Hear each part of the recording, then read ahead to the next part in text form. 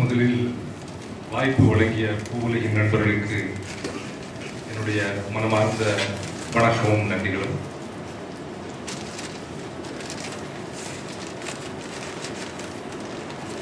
நிகழ்ச்சி தொகுப்பாளர் அறிமுகப்படுத்தியது போலவே இங்கு இரண்டு பேர் அமர்ந்திருக்கிறார்கள் நெய்தலை பற்றி பேசுவதற்காக. அருள் எழிலன் என்ற ஒரு போராளி அடுத்தபடியாக பேராசிரியர் வரிதையா சொல்றேன் இவர் தீவிரவாதி என்று சொன்னால் அவரை மிதவாதி என்று சொல்லலாம் என்று நினைக்கிறேன். ஆழமான கருத்துக்கு சொந்தக்காரர்கள் அடிப்படையில் மனதளவில் நெய்தலை நேசிக்கிறவர்கள் நான் அறிந்த வரையிலே அவர்களுடைய செயல்பாட்டிலே நெய்தலை நிதமும் நேசித்துக் கொண்டிருக்கிறார்கள் என்பதை அவர்கள் தெரிவிக்கவில்லை ஆனால் தெரிந்து கொண்டிருக்கிறது. எனக்கு தெரிந்து கொண்டிருக்கிறது மக்களுக்கு தெரிந்து கொண்டிருக்கிறது. நெய்தலில் இன்று என்ன நடக்கிறது?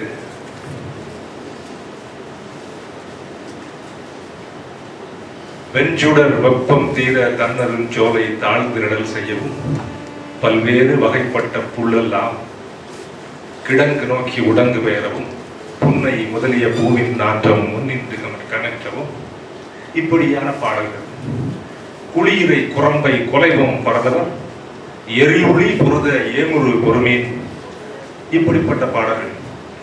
இளைஞரும் பரப்பின் எரிசுரா நீக்கி வலம்புரி மூழ்கிய வாந்துமில் பரதவர். நெய்தலில் ஆளுமை செய்தவர்கள் வாழ்ந்தவர்கள் இருந்து கொண்டிருந்தவர்கள் பட்டினவரிலிருந்து முக்கூர் வரை. நான் வளவேற்காட்டிலிருந்து நீரோடி வரை சொல்ல சொல்லுகிறேன். பட்டினவரிலிருந்து முக்குவர் வரை எல்லோருமே பரதவர்கள் என்று சங்க காலத்தில் அழைக்கப்பட்டிருக்கிறார்கள் மிகப்பெரிய ஒற்றுமை அங்கு நிலவி இருக்கிறது. கட்டமைப்பான ஒரு அரசியல் இருந்திருக்கிறது. ஒரு கட்டுப்பாடு இருந்திருக்கிறது. ஆனால் இன்று கடற்கரையே காணாமல் போய்விட்டது. சங்க காலத்தில் நெய்தலை பாடியிருக்கிறார்கள். நிச்சயமாக நெய்தலுக்கு உள்ளிருந்து யாரும் பாடவில்லை என்பது போல் நான் தெரிகிறது. கடற்கரையை மட்டும் பாடிவிட்டு சென்றிருக்கிறார். அதன் பிறகு இரண்டாயிரம் ஆயிரத்தி ஐநூறு ஆண்டுகள் அளவுக்கு அங்கிருந்து இலக்கியங்கள் இல்லை. ஆனால் இன்று நெய்தல் பாட ஆரம்பித்திருக்கிறது. மேற்கு தென்மேற்கிலிருந்து வரிதையா கான்ஸ்டன்டைன் பாடுகிறார் அவருக்கு அருகிலே இருந்து கொண்டு அருள் எழிலன் பாடுகிறார். பெர்லின் பாடுகிறார். இங்கே முத்து குணசேகரன் பாடுகிறார் இப்படியாக நெய்தலில் இருந்த ஒரு சோர்வான நிலை. அந்த சோர்வான நிலையிலிருந்து அது மீளவும் கட்டமைக்கப்பட்டு அங்கிருந்து ஆசிரியர்கள் நாவலாசிரியர்கள் படைப்பாளிகள் இயக்குனர்கள் வந்து கொண்டிருக்கிறார்கள். நெய்தலை பற்றி பாடிக்கொண்டிருக்கிறார்கள் வாழ்க்கை அங்கு எப்படி நடந்து கொண்டிருக்கிறது? கடலுக்குள் வாழ்க்கை எப்படி நடந்து கொண்டிருக்கிறது? நாம் திகட்ட திகட்ட இன்று சாப்பிட்டுக் கொண்டிருக்க ஒவ்வாவும் வஞ்சனம் எனும் எப்படிப்பட்ட ஒரு போராட்டத்திற்கு இடையில் இங்கு கொண்டு வரப்பட்டு அது நமக்கு பரிமாறப்படுகிறது என்பதை தெரிவித்துக் கொண்டிருக்கிறார்கள். கடற்கரை இங்கு காணாமல் போய்விட்டது என்று சொன்னேன். ஏன் காணாமல் போனது? எப்படியான ஒரு சூழல் இங்கு நிலவி கொண்டிருக்கிறது? சின்ன வயதுல இளம் பிராயத்துல உபரி கடற்கரையில ஓடி விளையாடி இருக்கிறான் குருவி தேரின்னு ஒரு தேரி கூட்டாஞ்சோறு ஆக்கியிருக்கோம் மொளவு சோறு ஆக்கி சாப்பிட்டுருக்கோம். ஆனா இன்னைக்கு குருவி தேரியும் இல்லை. கடற்கரையே இல்லை. பிறகு குருவி தேரிக்கு எங்க போவார்? ஏன் இந்த சூழல்? ஏன் இப்படி நடந்து கொண்டிருக்கிறது? இதற்கெல்லாம் பொறுப்பு நாம் தானே. இடையிலே சமீபத்தில் தம்பி ஒரு ஊடக நிகழ்ச்சி சம்பந்தமாக என்னிடம் ஒரு கேள்வி கேட்டார். எதுக்கு யாருக்குமே பொறுப்பு இல்லையா? குறிஞ்சி குறிஞ்சியின் மக்களிடம் இருந்த போதும் முல்லை முல்லையின் மக்களிடம் இருந்த போதும் மருதம் மருதத்தின் மக்களிடம் இருந்த போதும் அந்த நிலத்துக்கு எந்த பாதிப்பும் இல்லை. ஆனால் குறிஞ்சியில் மற்ற நிலத்துக்காரர்கள் பொருளாதார சூழலின் காரணமாக சென்றபோது அதன் தன்மை உணராமல் அதை பயன்படுத்த ஆரம்பிக்கிறார்கள். நெய்தலை சேர்ந்தவர்கள் அது தன்னுடைய தாய் என்று நினைக்கிறார்கள். நெய்தலின் உண்மையான வாரிசுகள் எனது தாய் அள்ள அள்ள குறையாமல் அமுதமாய் அள்ளி வீசிக் கொண்டிருக்கிறாள் என்பதை நிதமும் அவளை தொண்டு தொட்டு வழிபட்டு வணங்கி கடல் தொழிலில் இருக்கிறார்கள். ஆனால் அதே நெய்தலுக்குள் வேற்று நிலத்தவர்களின் படையெடுப்புகள் ஆரம்பித்த பிறகு எடுக்க கூடாது என்பதல்ல போகக்கூடாது என்பதல்ல தன்மை உணராதவர்கள் சென்றதனால் நெய்தலின் நிலையை உணராதவர்கள் சென்றதனால் அங்கு இப்படிப்பட்ட ஒரு சூழல் இருந்து கொண்டிருக்கிறது. ஏன் திரும்ப திரும்ப கடற்கரையில் இவ்வளவு பிரச்சனைகள் நடந்து கொண்டிருக்கின்றன?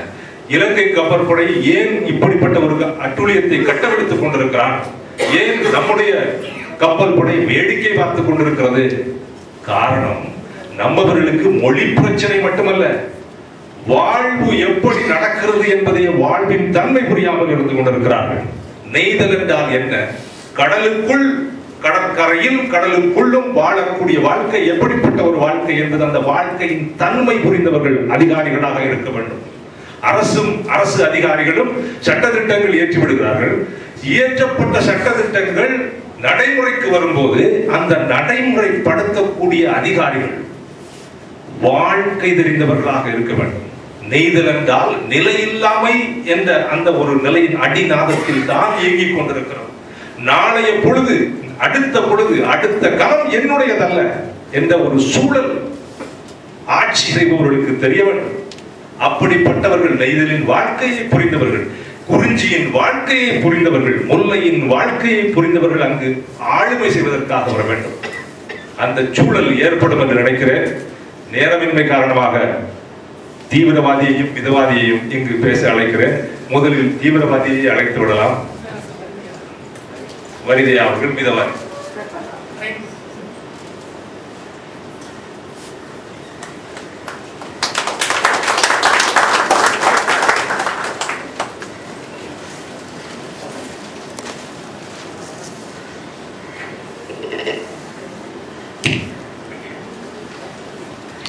நண்பர்களே எல்லோருக்கும் இந்த அரிய வாய்ப்புக்காக என்னுடைய நெஞ்சார்ந்த நன்றியை பதிவு செய்து கொள்கின்றேன். குறிப்பாக எனது அருமை நண்பர் சீனிவாசன் அவர்களுக்கு. இரண்டாயிரத்தி ஐந்திலே நாகர்கோவிலில் புலம்பெயரும் மீனவர்கள் குறித்த ஒரு கருத்தாய்வை ஏற்பாடு செய்திருந்தேன். அந்த கருத்தாய்வில் பங்கேற்று பகிர்ந்து கொண்ட நண்பர் உதயகுமார் அவர்கள் ஒரு கருத்தை சொன்னார். அவர் வருகை தரும் பேராசிரியராக டெல்லியில் ஸ்ரீராம் சீமாட்டி கல்லூரி போன்ற சில நிறுவனங்களுக்கு செல்வதுண்டு. ஒரு முறை அவ்வாறு ஒரு கல்லூரிக்கு சென்றிருந்த போது அந்த கல்லூரி வகுப்பு மாணவிகளிடம் கேட்டிருக்கிறார் கடலை பார்த்திருக்கிறீர்களா? என்று. இல்ல. இந்த கேள்வியை அவர் டெல்லி முழுவதும் கொண்டு சென்றிருக்கிறார். அரசு அதிகாரிகளிடம் சில அமைச்சர்களிடம் அலுவலக காப்பாளர்களிடம் இன்னும் எம்பிக்களிடம் மக்கள் பிரதிநிதிகளிடம் கொள்கை வகுப்பாளர்களிடம் என்று எதிரில் பட்டவர் கண்ணில் பட்டவர்களிடம் எல்லாம் கேட்டிருக்கிறார். கடலை பார்த்திருக்கிறீர்களா என்று. கடலை இந்தியாவின் பெரும்பான்மை மக்கள் பார்த்திருக்கவில்லை என்பது ஒன்றும் ஆச்சரியம் அல்ல ஆனால் எட்டாயிரம் கிலோமீட்டர் தொலைவில் இருக்கின்ற கடல் கடற்கரையை தழுவி நிற்கின்ற கடலை குறித்து அங்கே வாழ்ந்து கொண்டிருக்கின்ற லட்சக்கணக்கான மக்களின் வாழ்க்கையை குறித்து அந்த நிலத்தின் இயற்கை தன்மையை குறித்து ஏதும் புரியாதவர்களாய் எதையும் அறியாதவர்களாய் இருக்கின்றவர்கள். இந்த கடல் எப்படி இருக்க வேண்டும் இந்த கடல் எப்படி பயன்படுத்தப்பட வேண்டும் அங்கே வாழ்கிற கடலோரத்தின் நெய்தல் குடிகள் எவ்வாறு வாழ வேண்டும் என்பதை குறித்தெல்லாம் கொள்கை வகுக்கின்றார்களே. இதுதான் வேடிக்கையானது அதிர்ச்சியானது அவலமானது. இந்த அவலத்தின் ஒவ்வொரு படியையும் நாம் சந்தித்துக் கொண்டிருக்கின்றோம் நண்பர்களே. மிக அதிகமாக சங்க இலக்கியத்திலும் இலக்கியங்களிலும் வரலாற்றிலும் நெய்தலை பற்றி என்ன சொல்ல சொல்லி இருக்கிறார்கள் என்பதை பற்றி பேசுவதற்காக நான் இங்கே வரவில்லை The common man needs to be sensitized. மிக முக்கியமாக சிலப்பதிகாரத்துக்கு போனா மாமழை போற்றுதும் என்பார் இளங்கோவடிகள் மழை பொழிவதனால் மட்டுமே அரசுகள் நிற்கின்றன எங்கள் மன்னர்கள் சிறப்பாக கோலோச்சுகிறார்கள் என்று அழகாக சொல்லுவார். அதுபோலவே இலக்கியத்தில் வேறொரு இடத்தில் நதிநீர் கடலில் கலப்பதனால் தான் கடல் வளம் பெறுகிறது செழிப்பு இருக்கிறது என்று அருமையான ஒரு வரி இருக்கும். ஆக ஆதி தமிழ் குடிகள் நான்கு வகையான திணை நிலங்களின் முக்கியத்துவத்தை புரிந்திருந்தார்கள் அவற்றின் தன்மையை தெளிந்திருந்தார்கள் தெளிவாக அறிந்திருந்தார்கள். இயற்கையின் தன்மையோடு இயைந்து அவர்கள் வாழ்ந்து கொண்டிருந்தார்கள் என்ற என்ற ஒரு நிலை மாறி இன்று இயற்கையை மையப்படுத்துகின்ற நிலை மாறி மனிதன் தன்னை மையப்படுத்தி தான் வாழ்கின்ற நிலத்தை மட்டுமே மையப்படுத்தி பார்க்கின்றான். இது ஒரு தெளிவாகவே இது ஒரு பார்வை கோளாறு. தண்ணி எல்லாம் கடல்ல போய் வீணாகுது என்று அறிஞர்கள் சொல்லுகிறார்கள். அறிவியல் வல்லுநர்கள் சொல்லுகிறார்கள் அமைச்சர்கள் சொல்லுகிறார்கள் கொள்கை வகுப்பாளர்கள் சொல்லுகிறார்கள். பொறியியல் வல்லுநர்கள் சொல்கிறார்கள். எல்லா தண்ணி கடல்ல போய் வீணாகுது என்று. ஆதி கலாச்சாரம் இயற்கையின் இயல்பான போக்கிலேயே நீரை பயன்படுத்தி வந்தது. மேலாண்மை என்ற ஒரு சொல்லே புண்படுத்துகின்ற சொல் என்று காலையில் குறிப்பிட்டார்கள். அதை நான் என்டாஸ் பண்றேன். நதி கடலில் போய் கலக்கிறது என்ற ஒரு பார்வைதான் நமக்கு இருக்கிறது நண்பர்களே. நதி கடலில் இருந்து புறப்படுகிறது.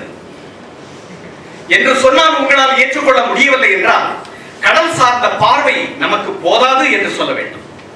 கடலை இன்னும் நம்ம சரியா புரிஞ்சுக்கல. உலகத்தில் மூன்று லட்சத்து பன்னிரெண்டாயிரம் சொச்சம் கிலோமீட்டர் தொலைவுக்கு கடல் சிறு துண்டு நிலத்தை தழுவி தழுவி மீள்கிறது. கடலின் நீரோட்டங்கள் ஏற்றவற்றங்கள் ஓதங்கள் அலைகள் அதன் வேதித்தன்மைகள் உப்புத்தன்மை உயிரினங்கள் உயிரினங்களுக்கு ஊடாக இருக்கின்ற உறவுகள். இதெல்லாம் சார்ந்து கடலின் வளங்கள் அமைந்து கிடக்கின்றன. மீனை ஒரு உண்கின்ற பதார்த்தமாக மட்டுமே பார்த்து போன பார்த்து கொண்டிருக்கின்ற சமவெளி மக்கள் மீன்தான் தங்கள் வாழ்க்கையின் எல்லாமே என்று வாழ்ந்து கொண்டிருக்கின்ற பல நூறு ஆண்டுகளாக வாழ்ந்து கொண்டிருக்கின்ற மக்களை பற்றிய புரிதலை எப்படி அடைந்திருக்கிறார்கள் என்ற ஒரு கேள்வியை நாம் முன்வைக்க வேண்டியிருக்கிறது. சமவெளி மனிதனுடைய கடலின் குறித்தான பார்வை மிக மிக வரையறுக்கப்பட்டிருக்கிறது. மிக மிக மட்டுப்படுத்தப்பட்டிருக்கிறது.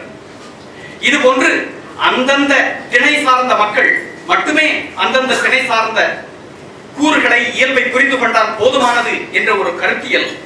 நுகர்வு கலாச்சாரம் தோய்ந்து கிடக்கின்ற இந்த காலத்தில் உயர்ந்து எழுந்து கொண்டிருக்கிறது. ஆக சூழலியலாளர்கள் இயற்கை ஆர்வலர்கள் இயற்கை அன்பர்கள் எல்லோரும் சேர்ந்து ஒரே குரலாக உரத்த குரலாக மீண்டும் மீண்டும் சொல்கிறார்கள். இந்த பார்வையில் கோளாறு இருக்கிறது. பாதை தவறாக இருக்கிறது. இதை நாம் கொண்டு சேர்க்க வேண்டிய இடத்தில் நம்முடைய வாழ்க்கை நம்மை கொண்டு சேர்க்க போவதில்லை. எனவே நம்முடைய பாதையை மீள்பார்வை செய்ய வேண்டும் மீளாய்வு செய்ய வேண்டும் என்ற ஒரு கருத்தை முன்வைத்து அருமையாக ஐந்திணை சார்ந்த பார்வையோடு இந்த அரங்கம் நிகழ்ந்து கொண்டிருக்கிறது. திணைகள் நான்கு தான் இருந்தது என்று காலையில் சொன்னார்கள். ஐந்தாவது திணை ஏற்பட்டு விட்டது அது ஒரு விபத்து என்று சொன்னார்கள். நண்பர்களே ஆறாவது திணையை நோக்கி உலகம் நகர்ந்து கொண்டிருக்கிறது. கிளைமேட் சேஞ்ச் குளோபல் வார்மிங் மிதமிஞ்சி இயற்கை வளங்களை சுரண்டி கொண்டிருக்கிறோம். வனங்களை சுரண்டுவதற்காக வனத்தின் குடிகளை வெளியேற்றினோம். மலைகளை புரண்டுவதற்காக மலையை மொட்டையடிப்பதற்காக மலையின் பழங்குடிகளை விரட்டினோம். நிலத்தை சார்ந்து வேளாண்மை செய்து கொண்டிருந்த நிலத்தின் குடிகளை வேறு வேறு நோக்கங்களை சொல்லி வேறு வேறு சாக்கு போக்குகளை சொல்லி அந்த மக்களை அங்கிருந்து விரட்டினோம். ஆக மலை வனம் வேளாண் நிலம் இந்த மூன்றையுமே ஆக்கிரமித்துக் கொண்ட ஆக்கிரமா ஆக்கிரமிப்பாளர்களின் அரசியல் ஆக்கிரமிப்பாளர்களின் கூட்டம் இப்போது கடற்கரையை பார்க்கிறது. கடந்த பத்து பன்னிரண்டு வருடங்களாக கடலோரத்திற்கும் கடலுக்கும் நேர்ந்து கொண்டிருக்கின்ற விபத்து என்பது கடல் சார்ந்த சமூகத்திற்கு மட்டுமே நிகழ்கின்ற ஒரு விபத்தாக ஒரு பார்வை கோளாறு இன்னும் ஊடகங்களில் முன்வைக்கப்படுகிறது. இரண்டாயிரத்து நான்கில ஆழிப்பேரிடர் இலங்கையின் கடற்கரையில் முப்பத்தி மூன்று முப்பத்தி மூன்றாயிரம் மக்களை கொன்றொழித்த இலங்கையின் கடற்கரையில் எழுபத்தி ஐந்து சதவீதம் கடற்கரையை விழுங்கிவிட்ட சுனாமி தமிழக கடற்கரைக்கு வந்தபோது ராமேஸ்வரம் தூத்துக்குடி போன்ற பகுதிகள் தப்பித்துக் கொண்டன. நாகப்பட்டினம் நேரடி தாக்குதலுக்கு உள்ளானது. இந்த தாக்குதலும் தப்பித்தலும் எவ்வாறு நிகழ்ந்தது என்ற ஒரு ஆய்வை முன்வைத்து அதை தெளிவாக புரிந்து கொள்ளும் முன்னமே இரண்டாயிரத்தி ஐந்து ஏப்ரலிலே மதுரையில் தொடங்குகிறார்கள் சேது சரித்திர கால்வாய் திட்டம். இந்த மக்களை பாதுகாத்தது இயற்கை அரணாக நின்றது பவளப்புற்றுகள். கடலை வெறும் உப்பு தண்ணியா பார்க்கிற மக்களுக்கு அலையாத்தி காடுகள் உவர்நீர் பரப்புகள் கடற்கோரை பகுதிகள் பவளப்புற்றுகள் கடிமுகங்கள் பரந்த உவர்நீர் பரப்புகள் இவையெல்லாம் சேர்ந்து முன்வைக்கின்ற ஒன்பதுக்கு மேற்பட்ட பல்லுயிரியல் சூழலியல் கட்டமைப்புகளை குறித்து கவலை நமக்கு இல்லை. ஆனால் கடல் தொடர்ந்து இயங்கிக் கொண்டிருக்கிறது. கடல் தொடர்ந்து நம்மை உற்று கவனித்துக் கொண்டிருக்கிறது. கானகத்துக்குள்ள போகும்போது விலங்குகள் நம்மை கவனித்துக் கொண்டிருக்கின்றன என்று சொன்னார்கள். கடல் நம்மை கவனித்துக் கொண்டே இருக்கிறது. அம்மா சின்ன பிள்ளைய அஹ், தப்பு செய்கிற சின்ன பிள்ளைய தட்டி கொடுக்கிற மாதிரி அப்படி செய்யாத மகனை இப்படி செய்யாத மகனை அப்படின்னு சொல்ற மாதிரி கடல் நமக்கு தட்டி கொடுத்து கொண்டே இருக்கிறது. அதையும் மீறி மிகப்பெரிய தவறுகளை நாம் இழைக்கும் போது இயற்கை தொந்தரவுக்கு உள்ளாகிறது. அது ஏற்படுத்திக் கொள்கின்ற ரவுத்திரம் அல்லது ருத்ர தாண்டவம் தான் இயற்கையின் சீற்றம் என்று சொல்லுவேன்.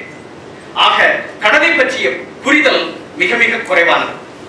நாம் இன்றும் நினைத்துக் கொண்டிருக்கிறோம் ரெண்டு தெரு அல்லது நாலு தெரு தான் கடற்கரை அப்படின்னு நினைக்கிறோம். By international convention 60 kilometers from the shore front is coastal area அறுபது கிலோமீட்டர்கள் நீங்க நினைச்சு பாருங்க இரண்டரை கோடி சதுர கிலோமீட்டர் பரப்பு கடற்கரை பகுதிகள். உலகின் மக்களில் அறுபது விழுக்காடு மக்கள் வாழுகிற பகுதி கடலோர பகுதி கடற்கரை பகுதி. இதையெல்லாம் ஒரு வாதத்தை முன்வைப்பதற்காக நான் சொல்லவில்லை. இந்த கடற்கரை ஊடாத்த பகுதி என்ற ஒரு கருதுகோளை கருத்தியலை முன்வைத்தால் நமக்கு புரியும் கடலிலிருந்து நதி புறப்படுகிறது என்பது. கடலிலிருந்து பொருளாதாரம் புறப்படுகிறது என்பது. கடலிலிருந்து ஒட்டுமொத்த மக்களின் வாழ்க்கை புறப்படுகிறது என்பது. கடலிலிருந்து தான் உயிர் புறப்பட்டது என்பது. கடல் கோபம் கொண்டால் உயிர்கள் அழிந்துவிடும் என்பது. இந்த புரிதலை எல்லாம் சேர்த்து பார்க்கிற போது கடலை பற்றிய நம்முடைய புரிதலை இன்னும் விரிவுபடுத்த வேண்டியிருக்கிறது. கடற்கரை ஊடாட்ட பகுதி கோஸ்டல் இன்டராக்ஷனல் ஏரியா இந்த வார்த்தையை பயன்படுத்தலாமா அப்படின்னு தெரியல. நான் இந்த வார்த்தையை நான் முயற்சி பண்ணி பார்க்கிறேன். உதாரணமாக ஹூக்லி நதியில போனீங்கன்னா இருநூற்று அறுபது கிலோமீட்டர் தொலைவுக்கு ஓதத்தினால் ஏற்படுகின்ற தண்ணீர் ஆத்துக்குள்ள வந்துருது. அப்ப நம்ம ஒரிசாவுல மகாநதியில கேஞ்சட்டிக் ஷார்க்க பார்க்கிறோம். கங்கை நதியில ஷார்க்க பார்க்கிறோம். கடலின் மீன்கள் எல்லாம் திணைமயக்கம் என்று சொல்வதனால் ஏற்படுவது மட்டுமல்ல. கடல் தண்ணி எங்கெல்லாம் போகுதோ அதுல கடல் சார்ந்த உயிரினங்கள் தானாக போகிறது. கடல் உயிரினங்கள் எங்கே போகிறதோ அந்த உயிரினங்களை தேடி மீனவர்கள் போகிறார்கள். அங்கே மதில் சுவர்கள் கிடையாது கோட்டைகள் கிடையாது. நண்பர் ஜோடி குருச அருமையாக சொன்னார். இன்று தென் தமிழக மீனவர்களுக்கு நிகழ்ந்து கொண்டிருக்கின்ற அவலங்களின் அரசியல் என்ன? சமவெளி மனிதர்களுக்கு இருக்கின்ற பார்வை கோளாறின் அரசியல். அதை தமிழ் அரசியல் என்பார்கள் ஆங்கில அரசியல் என்பார்கள் வட வடநாடு தென்னாடு அரசியல் என்பார்கள் கடலை குறித்த புரிதல் இல்லாமையால் ஏற்படுகின்ற ஒரு குழப்பம் என்று நான் அதை எளிமைப்படுத்த முடியும். அதற்கு மேல இன்னும் சில அரசியல் இருக்குதா இருக்கலாம். இந்த ஒரு ஒரு சிக்கலான சூழல்ல வரலாற்றிலிருந்து நாம் கற்றுக்கொள்ள வேண்டிய பாடங்கள் இருக்கிறது. கரிகாலம் க- கல்லணை கட்டினான் தஞ்சை பெருநிலம் வளம் பெற்றது. வேளாண்மை சிறந்தது. கருவூலங்கள் பெருகின வளர்ந்தது இது வரலாற்றின் ஒரு பகுதி. நம்ம வானம் பார்த்த பூமியா இருந்தோம் மானாவாரியை நம்பி மட்டுமே வேளாண்மை செய்தோம். ஆனா வேளாண்மையை விரிவுபடுத்த விரும்பினோம் ஒரு கட்டத்தில். பயிர் நிலங்களை விரிவுபடுத்தினோம். இந்த விசாலப்படுத்தலுக்காக வனங்களை அழித்தோம். அணைகளை நிறுவ வேண்டியிருந்தது வனங்களை அழித்தோம். இதன் இறுதி விளைவுதான் என்ன? சில காலத்திற்கு ஒரு செழுமை இருந்தது. ஆனால் அதனுடைய இறுதி விளைவாக என்ன ஏற்பட்டது? மணல் அரிமானம் வனங்களின் அழிவு புகார் துறைமுகம் மறைந்து போயிற்று. அதே வரலாறை நீங்கள் தென் தமிழகத்தின் கடற்கரைக்கு கொண்டு வாருங்கள். தாமிரபரணியை வளர்ப்பதற்காக நதிநீர் நதிநீர் பாசனத்தை வளர்ப்பதற்காக நிலங்கள் விரிவாக்கம் செய்யப்பட்டன வனங்கள் அழிக்கப்பட்டன அணைகள் கட்டப்பட்டன. கொற்கை என்ற ஒரு துறைமுகம் வரலாற்றில் இடம்பெற்றிருக்கிறது. இன்று கொற்கை கடற் கடல் கடற்கரையிலிருந்து குறைந்தபட்சம் ஐந்து கிலோமீட்டருக்கு அப்பால் நிலப்பகுதியில் இருக்கிறது. துறைமுகமாக இருந்த ஒரு பகுதி எவ்வாறு கடலிலிருந்து ஐந்து கிலோமீட்டர் தொலைவில் இருக்கின்ற ஒரு நிலப்பகுதியாக மாறி போனது அதைத் தொடர்ந்து பழைய காயல் துறைமுகம் காயல் துறைமுகம். காயல் துறைமுகமும் கூட அவ்வாறு தூர்ந்து போனது. இயற்கையின் போக்கை ஊடறுத்த காலத்தில் எல்லாம் நமக்கு மீண்டும் மீண்டும் இந்த பதில் இயற்கையிலிருந்து கிடைத்திருக்கிறது. மீண்டும் நீங்கள் சென்னை துறைமுகத்துக்கு வாருங்கள். ஆயிரத்தி தொள்ளாயிரத்து எட்டாவது ஆண்டிலே ஒரு வெறும் குறுக்கு சுவராக எப்பயர் சென்னை துறைமுகம் நிறுவப்பட்டது. இன்று அது வளர்ந்து நிறைய நிறைய பகுதிகளாக விரிவாக்கமாகிக் கொண்டிருக்கிறது. எண்ணூரிலே ஒரு துறைமுகம் இருக்கிறது. உலகத்தின் மிகச்சிறந்த கடற்கரை பகுதியாக புளோரிடாவை சொல்கிறார்கள். இரண்டாவது பகுதியாக மெரினா பீச்சை சொல்கிறார்கள். ஆனால் மெரினா பீச் எவ்வாறு உருவாகியது என்பதை நம்முடைய மக்கள் அறிவார்களா? அறிந்திருக்க கூடும் நம்முடைய முன்னோர்கள் மூத்தோர்கள் அறிந்திருக்க கூடும் ஆயிரத்தி தொள்ளாயிரத்தி இருபது ஆயிரத்தி தொள்ளாயிரத்தி இருபத்தி ஐந்திற்கு முன்னால் மெரினா என்கிற ஒரு கடற்கரை இருக்கவில்லை. மெரினா இயற்கையின் போக்கை நாம் கூறுபடுத்த முயன்ற போது ஏற்பட்ட ஒரு கடற்கரை. நல்லா தானே இருக்கு?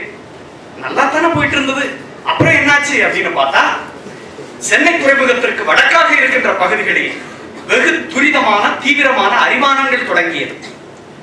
எண்ணூர் துறைமுக பகுதியிலேயே வாழ்கின்ற மீனவ சமூகத்திற்கு கடலோரத்தில் வாழ்கிற மக்களுக்கு இப்போது என்ன நடந்து கொண்டிருக்கிறது என்பதை பற்றி யோசிப்பதற்கு நமக்கு நேரம் இல்லை பழவேற்காடு ஏரியை சுற்றி இருபத்தி ஒன்பது மீனவ கிராமங்கள் இருக்கின்றன. பண்டை இலக்கிய காலத்தில் பார்த்தீர்கள் என்றால் கடலுக்கு போகாமலேயே அத்தங்கள் நீர்நிலைகள் நன்னீர் நிலைகள் கடலில் கலந்த இடங்களை மட்டுமே சார்ந்து கடலோர மக்கள் வாழ்ந்து கொண்டிருந்தார்கள். அன்று காணல்கள் சோலைகள் அத்தங்கள் எக்கர்கள் மணல் மேடுகள் இவ்வாறு கடற்கரை சிறந்து செழித்திருந்தது. வனங்களில் எப்படியோ அப்படியே கடலிலும் இருந்தது. ஒரு மீனவன் கரைக்கு மீனை கொண்டு வர்றான். விவசாய நிலத்துல அறுவடை நிலத்துல இறப்பவர்கள் களத்தை நீட்டுகிறார்கள். அங்க வந்து இறப்பவர்கள் நீட்டுகிற களம் நிரம்பி வழிய வழிய தானியத்தை களம் நிறைய கொட்டுகிறான் விவசாயி. நமக்கு சேர்த்து வைக்கணும் அப்படிங்கிற ஒரு எண்ணம் அன்றைய விவசாயியிடம் இருக்கவில்லை. நமக்கு சேர்த்து வைக்க வேண்டும் என்ற ஒரு எண்ணம் அன்றைய மீனவரிடம் இருக்கவில்லை. ஒரு நாள் நிறைய மீன் கிடைக்குதுன்னா ஒரு மீனவன் பாரம்பரிய மீனவன் அடுத்த நாள் கடலுக்கு போக மாட்டான். நாளைக்கு சாப்பிடுறதுக்கானது எனக்கு இருக்கிறது என்பது. தனக்கு தேவையானதை மட்டுமே இயற்கையிலிருந்து எடுத்துக்கொண்டு வாழ்ந்த வாழ்க்கை தான் ஆதிக்குடிகளின் வாழ்க்கை. காந்தியம் காந்தியம் என்று எல்லோரும் என்று காலையில் சொல்லிக் கொண்டிருந்தீர்களே காந்தியம் என்பது எங்கிருந்து புறப்பட்டது என்று கேட்டால் ஆதி தமிழ் குடிகள் நீண்ட காலமாக வாழ்க்கையில் நடத்தி கொண்டிருந்த கொள்கையை தான் இன்று நாம் காந்தியம் என்று கவர்ச்சியாக ஒரு பெயரிட்டுக் கொள்ள முடியும்.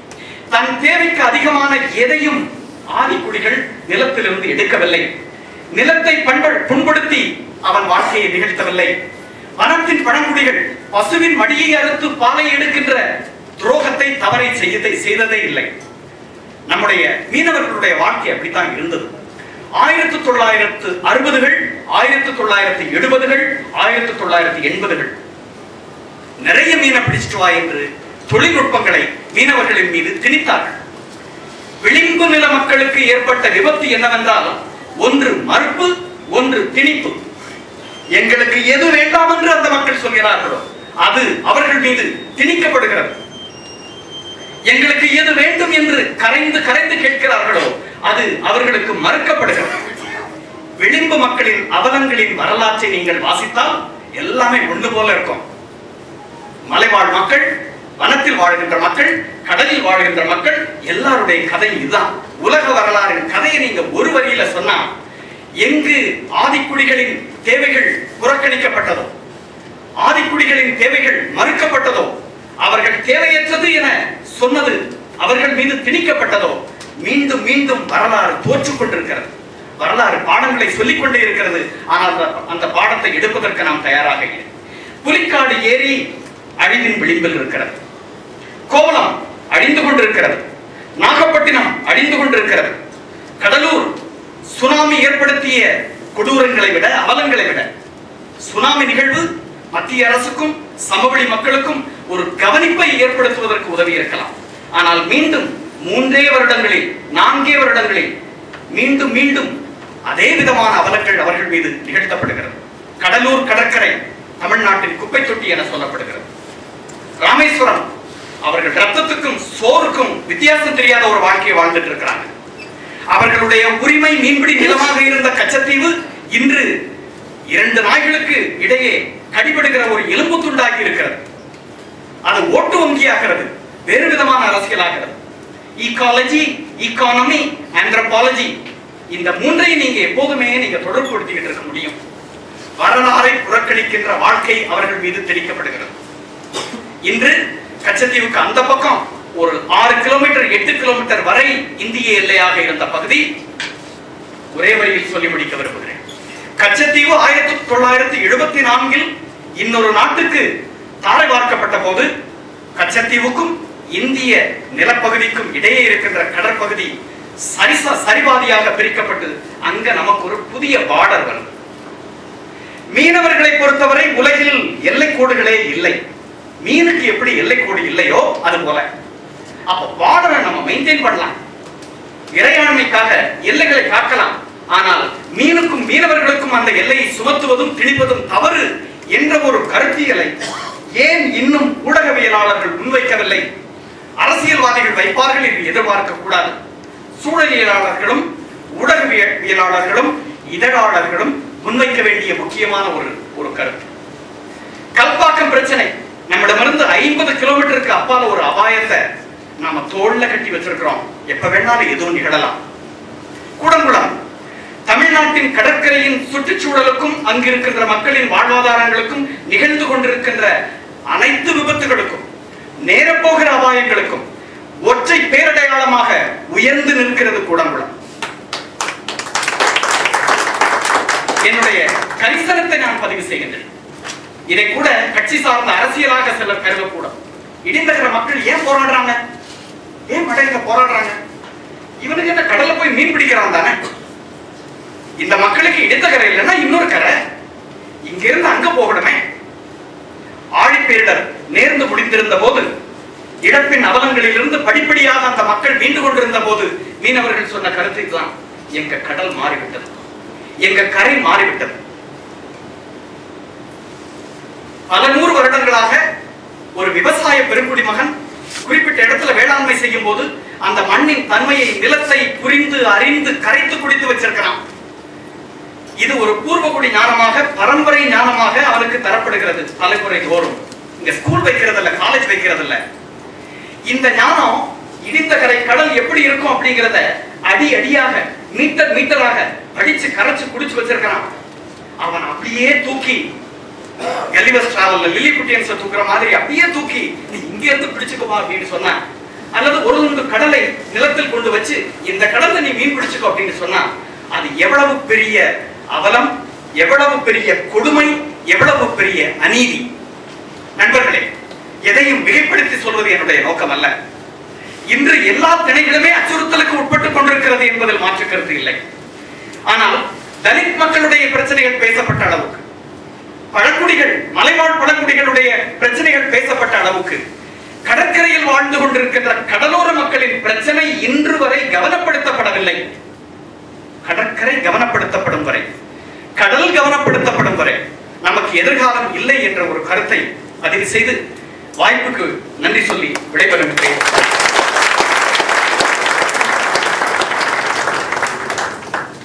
ஆழமான கோபமான உரையை வழங்கிய பேராசிரியர் நன்றி. அடுத்து திரு அருள் அவர்கள் பேசுவார்.